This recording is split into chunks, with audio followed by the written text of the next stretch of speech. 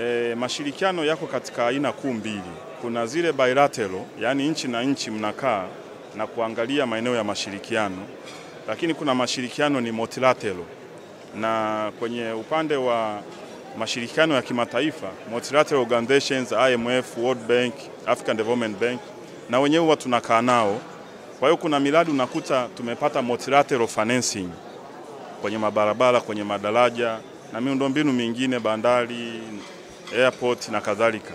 Sasa hii ni bilateral partnership.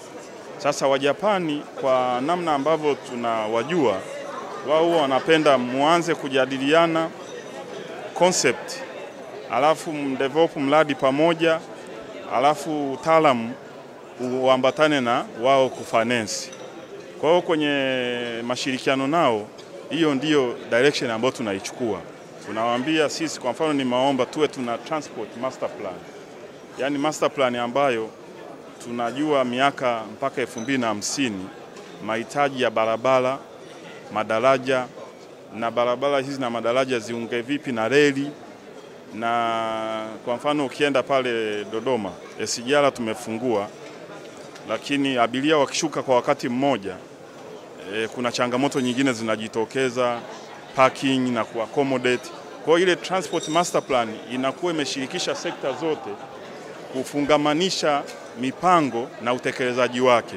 Kwa hiyo kimoja ya vitu ambavyo tumeomba ni tushirikiana nao kwenye transport master plan ili ujenzi wa miundombinu ya barabara, madaraja ufungamanishwe na mipango ya ujenzi wa reli, airport na hata bandari. Kwa hiyo eh, hilo ndo kubwa ambalo linakuja, lakini modo ya Wajapani wao wanataka mwanzie kuumizwa vichwa pamoja, concept mtengeneze mradi, alafu huo mradi walete fedha na hiyo miradi ijengwe na, na, na kampuni za Kijapani. Tunaongea nao kuhusu flyover ya pale Morocco. Kama mnavyojua sasa hivi lazima tufikirie dunia inakoenda, sehemu ambapo kuna mapishano ya barabara, yani junction na foleni kubwa, mataa bado sio sio teknolojia nzuri ya kuwaisha wasafiri na wasafirishaji. Kwa pale kwa mfano Moroko tunashirikiana nao usanifu ujenzi wa flyover, lakini hata pale taza, nani Tazara njia panda, watu ambao wanapita chini bado wanalalamika kuna, kuna kuchelewa. Kwa hiyo pia e, upande wa Japani wanaangalia namna gani pale tunaweza tukafanya improvement ili pande zote zisimame hata kidogo, na maeneo mengine ambayo yanahitaji e, kwa mfano pale Dodoma jana wakati wa ziara se, kuna sehemu ambapo e, ile barabara ya Pete inayozunguka Dodoma kuna sehemu inakutana, alafu barabara zote tunaweka roundabout. Tukasema hapana, pale inabidi tuweke interchange e, yani nikasema kwa design ya pale hizi flyover za Dar es Salaam zitakuwa ni cha mtoto, yani Dodoma itaipita Dar es Salaam kwa hii mipango ambayo tunaipeleka pale e, barabara ya Pete inapoungana na Morogoro Road kuingia mjini. Nimekuja na watu ambao wamebobea katika e, kujenga miundombinu miundombinu bora ya kudumu. Kama mnavyofahamu, Japani ni nchi ambayo inatikiswa sana na matetemeko ya ardhi, vimbunga. Kwa hiyo wao walidhamiria na wakatekeleza ujenzi wa miundombinu bora na ya kudumu ambayo inaweza kuhimili majanga kama hayo. Kwa hiyo sasa wao wamejitosheleza na wana, wanaona kwamba wanayo nafasi ya kuchangia sio kwa Tanzania tu, ni, ni, ni, ni mpango mzima wa kuchangia Afrika, inaitwa Program for eh, Infrastructure Development for Africa. Kwa hiyo wanaenda kila nchi, wanabeba makampuni makubwa ambayo yamebobea katika ujenzi wa miundombinu. Ninaposema miundombinu ni miundombinu yote unayoijua kuanzia barabara, kuanzia madaraja, kuanzia airports, kuanzia ni kila kitu. Kwa hiyo haya ni makampuni makubwa, ni jumuiya ya uh, wanachama 194. Hawa niliokuja nao ni wanachama tu 60. E, tungependa sana wangekuja hata 194, lakini hiyo ni fursa ya baadaye.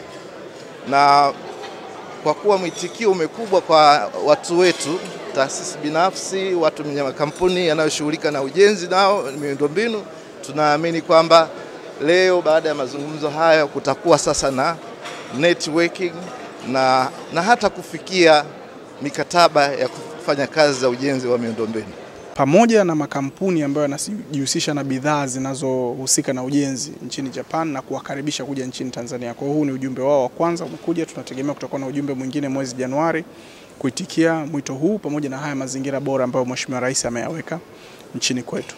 Na leo tumekaribisha makampuni zaidi ya mia moja ya Tanzania kuja kukutana na haya makampuni sitini kutoka Japan kukiwa na malengo mawili. Moja, kubadilishana uzoefu wa namna gani makampuni ya Kijapani yameweza kuongeza ubora wa um, miradi yao pamoja na ujenzi wanaofanya hasa kwenye mazingira magumu. Japani ni kisiwa, lakini ni kisiwa ambacho kinakumbwa na dhoruba nyingi pamoja na matetemeko na vitu vya namna hiyo. Kwa hiyo ni swala la uzoefu, lakini pia swala la pili ni swala la uh, kushirikiana, namna ya kuunda umoja wa makampuni ya Japan pamoja na Tanzania joint venture, ili waweze kufanya kazi za ujenzi pamoja hapa nchini kwa maendeleo ya Wajapan hasa kwa kupata uzoefu kutoka kwa, kwa maendeleo ya Tanzania hasa kwa kupata uzoefu wa wenzetu kutoka Japan. Uh, jambo la kwanza uh, naweza kusema kwamba moja, kumekuwa na ongezeko kubwa sana la uwekezaji kutoka barani Asia na katika nchi ambazo zimekuwa mstari wa mbele sana kuleta uwekezaji huu ni pamoja na nchi ya China, lakini tumeona siku za karibuni Mheshimiwa Rais akifungua mahusiano ya kidiplomasia na nchi nyingine ukiacha China na India ambao wamekuwa wakiongoza. Mheshimiwa Rais ame ongeza nguvu Indonesia, ameongeza nguvu South Korea, lakini pia na Wajapani na wenyewe wameanza kuamka. Wajapani wamekuwa wabia wa maendeleo pamoja na uwekezaji kwa Tanzania kwa muda mrefu, lakini hawajaja kwa nguvu hii kubwa.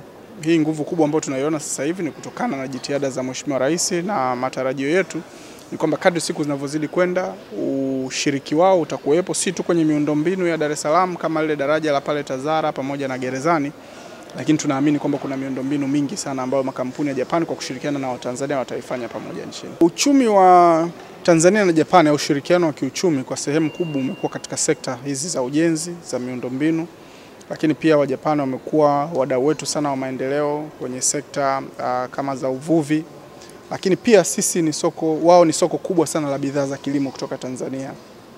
Uh, tunafahamu kwamba ufuta wa Tanzania unakwenda nchini Japan lakini pia kahawa ya Tanzania inakwenda nchini Japan. E, wanasema takwimu za kule Japan, asilimia sabini ya Wajapani wakiulizwa kahawa ipi ambayo wanaipenda zaidi ni kahawa ya Tanzania. Imekuwa na soko kubwa kufikia kiwango kwamba isipopatikana kahawa ya Tanzania watu huwa wanachukua kahawa za nchi nyingine, wanaweka kiwango kidogo cha kahawa ya Tanzania ili mradi waseme kahawa ya Tanzania imo mle ndani. Kwa ni fursa kubwa kwa Watanzania na tumekuwa tukihimiza kwa kushirikiana na ubalozi wetu nchini Japan kwamba Watanzania waweze kulima kahawa kwa wingi, pia waweze kupeleka kwenye soko la Japan kwa sababu soko lipo, ikiwemo pia bidhaa za ufuta. Kwa hayo ni maeneo ambayo tunatarajia kadri siku zinavyozidi kwenda yataendelea.